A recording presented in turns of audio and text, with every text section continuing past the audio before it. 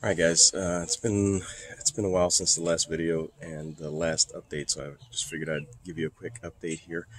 Uh, it's gotten pretty busy. I um, started a new position. It's a very very exciting position, uh, working with technology, of course.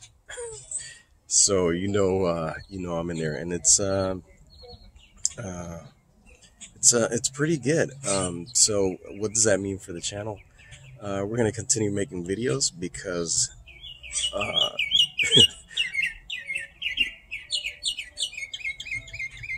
you're happy as well. Um, so I'm gonna continue making videos because my my new boss is uh, is into the channel. So um, as they said, you know, um, uh, spreading knowledge and uh, you know, just teaching people uh, the community about technology and stuff. That's important. So we're gonna keep doing it.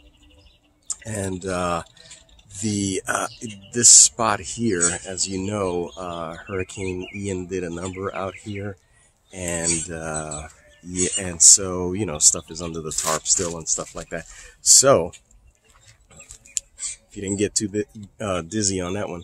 Uh, so what's going to happen is I'm going to uh, make uh, or construct a little building out here, and that will be my uh, new lab and office space for continuing to make these videos.